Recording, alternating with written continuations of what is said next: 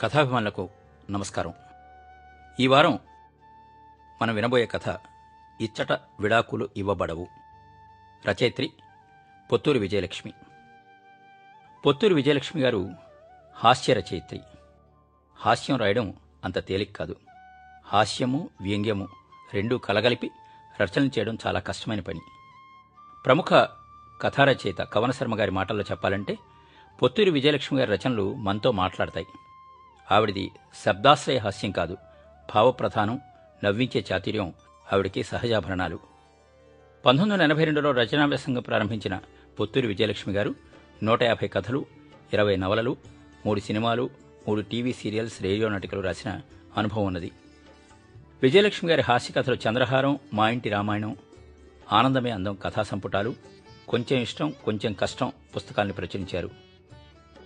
విజయలక్ష్మి గారు మనందరికీ చాలా సుపరిచితమైన శ్రీవారికి ప్రేమలేఖ సినిమాకు కథ అందించారు.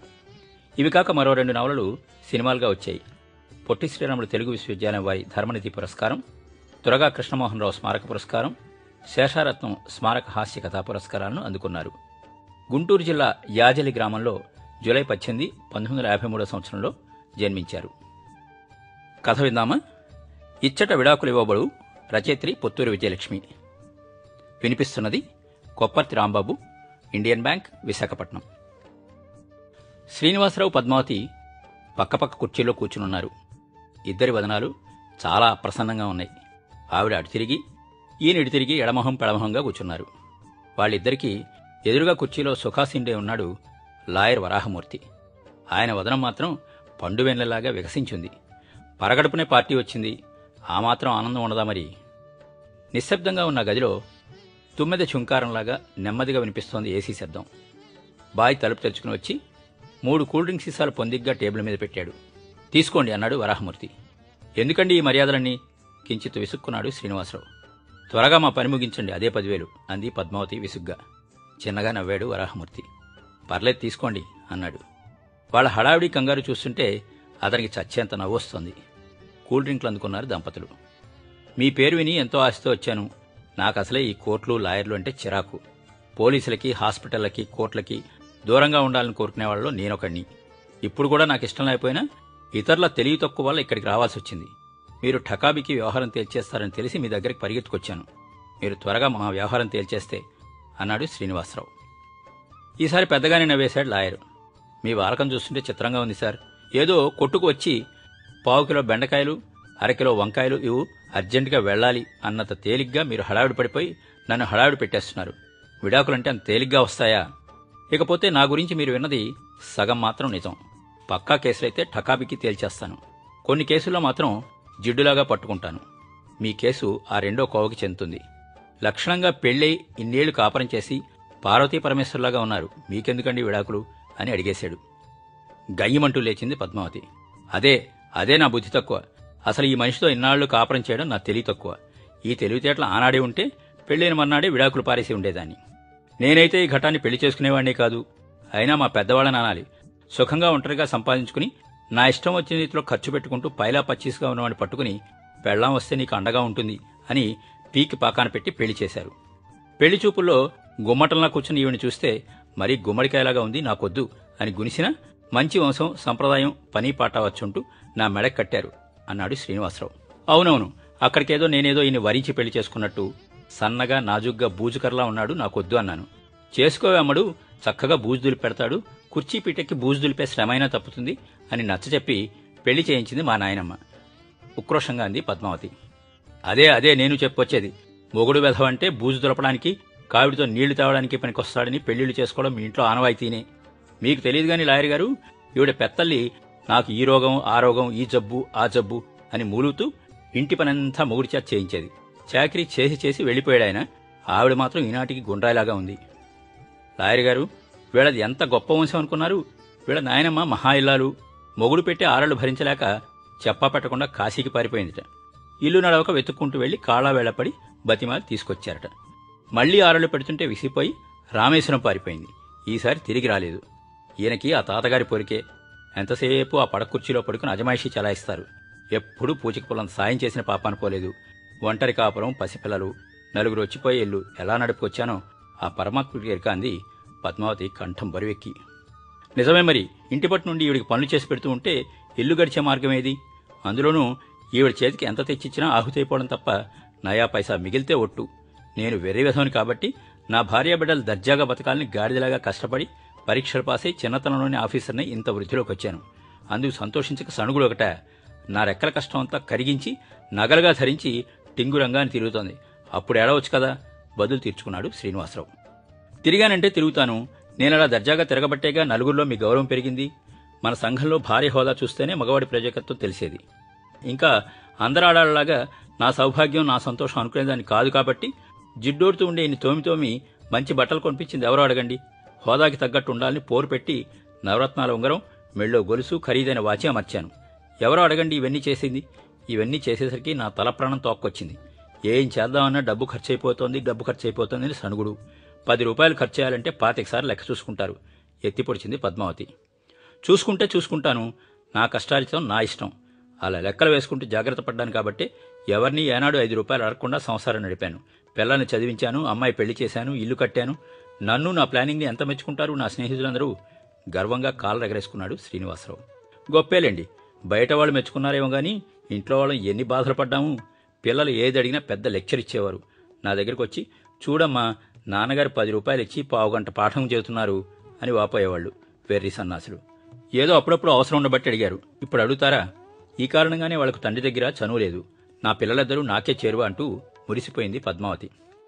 నవ్వేశాడు శ్రీనివాసరావు. అది ఆవిడ భ్రమండి. మా అమ్మాయి ఎన్నోసార్లు నా దగ్గరకు వచ్చి కళ్ళనీళ్ళు పెట్టుకునేది. అమ్మ చాదస్తం భరించలేకపోతున్నా నాన్నగారు స్నేహితులతో సినిమాకి వెళ్ళాలంటే సవా లక్ష ప్రశ్నలు ఇస్తుంది అని. ఇక మా అబ్బాయి అమెరికా వెళ్తూ వెళ్తూ నాన్నగారు ఇన్నాళ్ళు ఒకరికొకరం తోడుగా ఉన్నాం. ఇక అమ్మ చాదస్తం మీరు ఒంటరిగా భరించాలి. జాగ్రత్త అని కావలించుకుని చెప్పి మరీ వెళ్ళాడు. ఎక్కడా ఆపు స్టాపు లేకుండా వీధి నాటకంలా సాగిపోతున్న వాళ్ళ గొడవ చూసి విసిగేసింది వరాహమూర్తికి. వీళ్ళని ఇలా వదిలేస్తే ఏళ్ళ తరబడి నేరాలు చెప్పుకుంటూ పోతారేమని భయం వేసింది చేయి సాచి వారించాడు. చూడండి మీ వివాహం జరిగి ముప్పై ఏళ్ళు దాటిందని చెప్తున్నారు. మీ మాటల్ని బట్టి చూస్తే భార్యాభర్తలుగా తల్లిదండ్రులుగా మీ మీ బాధ్యతలు చక్కగా నిర్వర్తించినట్లు తెలుస్తోంది. పిల్లలు పెరిగి పెద్దవాళ్ళయ్యారు. అన్ని బాధ్యతలు తీరిపోయాయి. ఆర్థికమైన ఇబ్బందులు లేవు. అన్ని బాధరబందీలు తీరిపోయి లక్షణంగా చిలకాగోరింకల్లాగా సెకండ్ హనీమూన్లాగా జీవితం గడపవలసిన రోజుల్లో విడాకులంటారేమిటండి? ఇదేం విచిత్రం? నచ్చ చెప్ప చూశాడు. లేదు లేదులేండి మా ఇద్దరికి బొత్తిగా పట్టం లేదు. తెల్లారి లేచిన దగ్గర నుంచి రాత్రి పడుకునేదాకా దెబ్బలాట్లే అంది ఆవిడ. దెబ్బలాట్ల? ఏ విషయంలో? అడిగాడు లాయరు. ఒక విషయం అయితే చెప్పచ్చు లాయర్ గారు. ప్రతి దానికి ఎడ్డే ఉంటే తెడ్డే ఉంటుంది అన్నాడు శ్రీనివాసరావు. ఇలా చెప్తే లాభం లేదు సార్ వివరంగా చెప్పాలి. మీకు పోట్లాట్లు ఎందుకు వస్తున్నాయి? ఎవరు ప్రారంభిస్తారు? జిడ్డులాగా పట్టుకున్నాడు లాయరు. ఇద్దరూ కాసేపు ఆలోచించారు. ఉదాహరణకు ఒక విషయం చెప్తా వినండి. నన్ను టీవీ చూడనెవరు దినం అస్తమానం న్యూస్ పెట్టుకుని కూర్చుంటారు. ఒకసారి వింటే చాలదా న్యూసు. అలా కాదే అన్ని ఛానల్స్లోనూ అన్ని వార్తలు చూడాల్సిందే. పోనీ ఈ మధ్యనే రిటైర్ అయ్యారు ఏమైనా అంటే మనసు కష్టపెట్టుకుంటారని నేనే చదువుకోవాలని చూస్తున్నాను. హెడ్లైన్స్ రాగానే వంటింట్లోకి వెళ్ళి నా పని చూసుకుని వెదర్ రిపోర్ట్ అవగానే వచ్చి కూర్చుంటాను. వార్తలు అయిపోయాయి ఇక నాకు ఇష్టమైన ప్రోగ్రాం చూడొచ్చు అనుకునేలోగానే మరో ఛానల్ మారుస్తారు. మళ్ళీ ముఖ్యమైన వార్తలు మళ్ళీ ప్రధాని విదేశీ పర్యటన మళ్ళీ బీహార్లో ఊచకోత మళ్ళీ వాతావరణం. ఎన్నిసార్లు చూడను ఏమైనా అంటే నోరు పెట్టుకుని పడిపోతారు చెప్పింది పద్మావతి. ఏం సార్? నిజమేనా? ఎదురు పార్టీని అడిగాడు లాయర్. గాడిదికేం తెలుసు గంధం వాసన అని? ఏడుకేం తెలుసండి న్యూస్ విలువ? ఏడుకి కాపురమే కైలాసం ఇల్లే వైకుంఠం. మరి నాకు అలా కాదు కదా? నలుగురిలో తిరిగేవాణ్ణి. నాలుగు విషయాలు తెలుసుకోకపోతే ఎట్లా చెప్పండి? మొన్న మధ్య పిలిచి పోఖ్రాన్లో న్యూక్లియర్ టెస్ట్ చేశారంటే పోపేశారా? ఎవరు? ఎందుకు? అంటూ వంటింట్లోంచి ఆయుధ సహితురాలే వచ్చింది. అంతాగా ఎందుకు? పార్లమెంట్ ప్రొసీడింగ్స్ చూస్తుంటే వచ్చి కూర్చుని పిల్లిగడ్డం ప్రధానమంత్రి గారు ఏరి అని కళ్ళజోడు పెట్టుకుని మరీ వెతికేస్తోంది. ఆయన ఏనాడో దిగిపోయాడు. కొత్త ఆయన వచ్చి కూడా చాలా కాలమైంది. అదిగో అరచేతులు కోటేసుకుని కూర్చున్నాడు చూడు. ఆయనే అటల్ బిహారీ వాజ్పేయి గారు. ఆయన మన ప్రధాని అని పరిచయం చేశాను అన్నాడు శ్రీనివాసరావు హేళనగా. చాలండి సంబడం పనికిరాని పరిజ్ఞానం అంటే ఇదే. ఇంగ్లీష్ పేపర్లు అమ్మితే తెలుగు పేపర్ల కంటే ఎక్కువ డబ్బులు వస్తాయని తెలియదు గాని ప్రపంచ జ్ఞానం మాత్రం పుష్కలంగా ఉంది.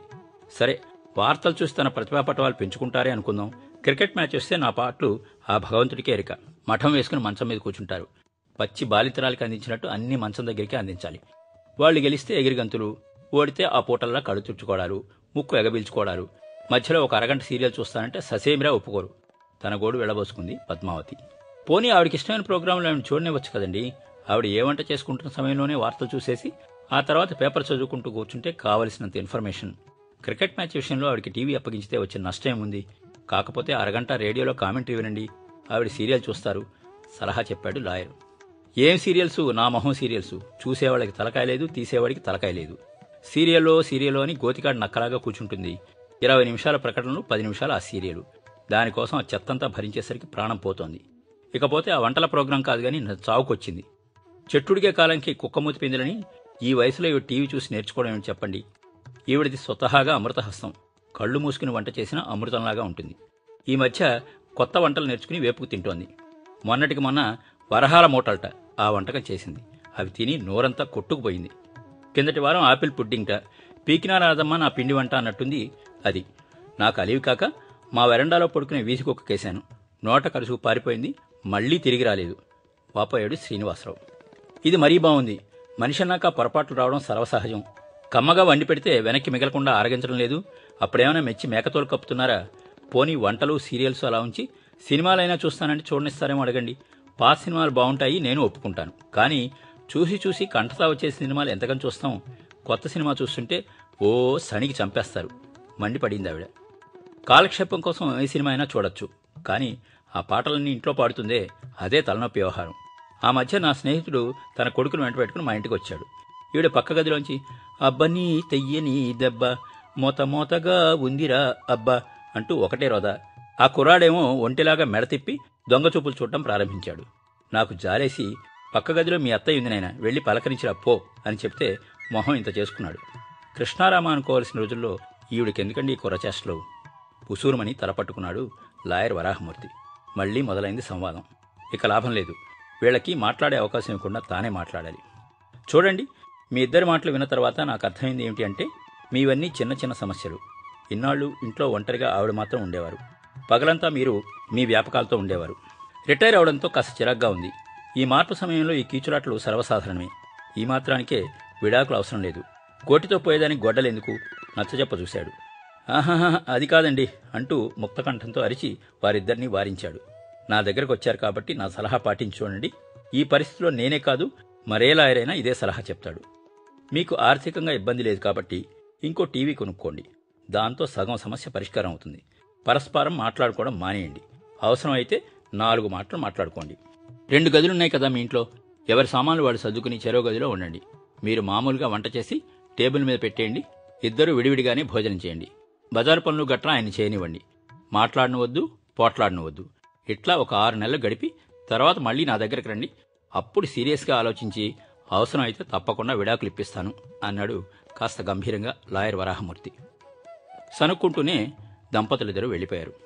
వాళ్ళు వెళ్ళిపోయాక తనివి తీర నవ్వుకున్నాడు లాయరు. లోపలికెళ్ళి భార్యకి చెప్పాడు. అంతా విని అయ్యో నన్ను పిలిస్తే నేను వచ్చి ఆనందించి ఉండేదాన్ని కదా అంది ఆవిడ. ఈసారి వస్తారుగా అప్పుడు పిలుస్తానులే అని హామీ ఇచ్చాడు లాయర్. ఆరు నెలలు గడిచిపోయాయి. ఆవేళ ఆదివారం. వరాహమూర్తి ఇంట్లోనే ఉన్నాడు. అక్కడెక్కడో బట్టలు సెకండ్ సేల్స్ పెట్టారు. పదండి వెళ్దాం అని భార్య పోరు పెట్టడంతో భార్య సమేతంగా బయలుదేరాడు. అక్కడికి వెళ్ళాక చూడు లోపల రష్గా ఉంది. నాకు చిరాగ్గా ఉంటుంది. నువ్వు వెళ్ళిరా నేను ఇక్కడే వెయిట్ చేస్తాను అన్నాడు. అదేంటి? ఇంతదాకా వచ్చి లోపలికి రారా? సెలక్షన్ సాయం చెదురుగాని రండి అంది ఆవిడ సమాధానం చెప్పబోతూ పరిచిత కంఠాలు వినిపించడంతో అటు చూశాడు. వాళ్ళే ఇదిగో ఆ వేళ నేను చెప్పలేదు వీళ్ళే అంటూ దగ్గరికెళ్ళి పలకరించి నమస్కారం పెట్టాడు. ఈయన చూడగానే మీరా మహానుభావ నూరేళ్ళాయుష్ మీ గురించి అనుకుంటున్నాను. మీరు పెట్టిన ఆరు నెలల గడువు అయిపోయింది. ఇవాళ రేపో రావాలి మీ దగ్గరకు అనుకుంటున్నాం. మీరే కనిపించారు. ఎప్పుడు రమ్మంటారు విడాకుల కోసం? అన్నాడు శ్రీనివాసరావు. ఉసూరుమన్నాడు వరాహమూర్తి. అయితే సమస్య పరిష్కారం అవ్వలేదన్నమాట. మిమ్మల్ని మాట్లాడుకోకుండా విడివిడిగా ఉండమన్నాను కదా. ఏమైంది? అడిగాడు. ఏమవుతుంది? ఎత్తుభారం వెనకటికి ఎవడో దొంగ కొబ్బరి చెట్టు ఎక్కి దెక్కుండా ఉండాలని చెట్టు మొదలకి మడిబట్ట కట్టాట. అలా ఉంది. మాట్లాడకపోతే ఎలా జరుగుతుంది చెప్పండి. చీటికి మటికి ఇదిగో ఎక్కడున్నావు? అంటూ కేకలు పెట్టడం మించి ఏనాడైనా తన పని తాను చేసుకున్నాడా? మాట్లాడడం మానేసేసరికి నానా కంగాళి అయిపోయింది. ఒళ్ళు తుడుచుకునే తువ్వాలు కనిపించక లుంగితోనే ఒళ్ళు తుడుచుకుని మరో లుంగి కనిపించక ప్యాంటుతోనే తిరిగారు ఒక రోజంతా. కాఫీ తాగాలనిపించిందిట. నన్ను అడగడానికి అహం తానే కాఫీ కలుపుకోవాలనుకున్నారట. ఫ్రిడ్జ్ తీసి పాలకి బదులు పెరిగిన తీసుకెళ్ళి పొయ్యి మీద పెట్టి పాలు విరిగిపోయాయని బాధపడి పెరుగుడితో కోవా చేద్దామని ఆ పెరుగు ఎగరబెట్టి దానిలో ఇంత పంచదార పోసి దాన్ని మాడబెట్టి నానా ఆగం చేసి పెట్టారు. మరో రోజు టీ డికాషన్ మిగిలిపోతే గిన్నెను డైనింగ్ టేబుల్ మీద పెట్టాను. అది చారు అనుకుని అన్నంలో పోసుకుని తిన్నారు. ఆయన అలా వదిలేస్తే కొంప కొల్లేరైపోతుందని విధిలేక మాట్లాడడం మొదలుపెట్టాను. పరిస్థితి అంతా పద్మావతి వివరించింది. అదేం కాదులేండి ఏదో అలవాట్లేని వ్యవహారం కాబట్టి కాస్త అటు ఇటుగా ఆయన మాట వాస్తవమే. నాన్న రోజుంటే నేనే నేర్చుకునేవాణ్ణి. అసలు రహస్యం ఏమిటంటే ఈవిడ ఇంట్లో పులి బయటికెళ్తే పిల్లి. ఈవిడ ప్రజ్ఞ వినండి మరి. ఆ మధ్య మా స్నేహితుడి ఇంటికి వెళ్ళాలని బయలుదేరాం. పళ్ళు కొందామని ఇంటి దగ్గరలో ఉన్న జంక్షన్లో ఆటో ఆపించాను. మాట్లాడకూడదు అనుకున్నాం కదా. అయినా అంత ముందు అరడని సార్లు వెళ్ళి నిల్లే ఆ మాత్రం వెళ్ళలేదా అనుకుని నా దోవని నేను వెళ్ళిపోయాను. పావు గంట తర్వాత తిరిగి వస్తే ఇంకా కుక్క పిల్లలాగా జంక్షన్లోనే తిరుగుతోంది. పి. రంగారావు గారి లెక్కడో తెలుసా? పి. కామాక్షమ్మ గారి లెక్కడో చెబుతారా అంటూ అందరినీ అడుగుతోంది. ఇంటి నంబర్ చెప్పమంటున్నారు వాళ్ళు. ఆ మాటకొస్తే మా ఇంటి నంబరే తెలియదు ఇవిడికి ఇక ఊళ్ళో వాళ్ళ ఇంటి నంబర్లు ఏం చెబుతుంది? బుర్రగోకుంటూ నుంచుంటే పోనీ కదా పాపం అని నియమోల్లంఘన చేసి నాకు తెలుసు పద వెళ్దాం అని తీసుకెళ్ళాను బదులు తీర్చుకున్నాడాను ఇది మరీ బాగుంది. ఎప్పుడో ఆరు నెలల క్రితం వెళ్ళాం కాబట్టి తడబడ్డాను. అందులోనూ ఈ ఊరు పాపం పెరిగినట్టు పెరిగిపోతోంది. ఈ పూట చూస్తే రేపటికి మారిపోతోంది అందావిడ. వాళ్ళని అలా వదిలేస్తే చెప్పుకుంటూ పోతారు కాబట్టి అడ్డుకున్నాడు లాయరు. ఇప్పటిక్కడికి ఎందుకు వచ్చారు అని అడిగాడు. ఏం చెప్పమంటారండి? ఈ మధ్య ఈవిడికి ఈ సేల్స్ చుట్టూ తిరిగే పిచ్చి పట్టుకుంది. అందుకే వచ్చాం చెప్పాడాయన అంతేలేండి పుణ్యానికి పోతే పాపం ఎదురైందంటారే అట్లా ఉంది ఈయన ధోరణి. వేసవికాలం వస్తోంది కాటన్ షర్ట్లు చిరిగిపోయాయి అని ఇక్కడికి తీసుకొస్తే నన్ను ఉద్ధరించడానికి వచ్చినట్లు ఆ వాలకం చూడండి. అయ్యా అదో వంక. నాకు షర్ట్లు కొనాలంటే ఇక్కడికే రావాలా? మామూలు షాపుల్లో దొరకవా? ఆయన సందేహం వెలిగిచ్చాడు ఎందుకు దొరకవు? కాకపోతే అక్కడ ధరలు ఎక్కువ. ఆ ధరలు వినగానే ఈయన ఓమో ఓర్నాయనో ఇంత ధరే. మా చిన్నతనంలో మా తాతయ్య ఐదు రూపాయలు ఇస్తే దాంతో ఒక సిల్క్ చొక్కా రెండు మామూలు చొక్కాలు కొనుక్కుని మిగిలిన డబ్బులతో పప్పుండలు కొనుక్కుతున్నాను అంటూ గత వైభవం వర్ణిస్తూ సొదపెట్టడం వాళ్ళు నవ్వుకుని సరేలేండి అంకుల్ ఇక మీరు వెళ్తే మేము షాప్ కట్టేసుకుంటా ఉన్నాం ఈ వినోదం అంతా ఎందుకు? ఇక్కడ చౌకగా దొరుకుతాయి కానీ ఇక్కడికి వచ్చాం ఆవిడ సమాధానం చెప్పింది. ఓలి తక్కువ అని గుడ్డిదాన్ని పెళ్ళి చేసుకుంటే కొండలన్నీ పగలగొట్టింది అన్నట్టు ధర తక్కువ అని కొని ఆ మధ్య పండక్కి నాకు జత బట్టలు కుట్టించింది. నల్ల ప్యాంటు గళ్ళ చొక్కా. చొక్కా నీళ్ళలో పెట్టగానే గళ్ళు నీళ్ళలో కరిగిపోయాయి. చొక్కా మాత్రం బయటకు వచ్చింది ప్యాంటు మాత్రం రంగు నిప్పులాగా ఉంది కాకపోతే మూరెడి కుంగింది. ఈసారి కొడుకు అల్లుడు వస్తే వాళ్ళకిస్తే బర్ములాగా వాడుకుంటారు కుట్టుకూలి గిట్టుబాటు అవుతుంది అనుకుంటున్నాను అన్నాడు ఆయన. నవ్వు ఆపుకున్నాడు లాయరు.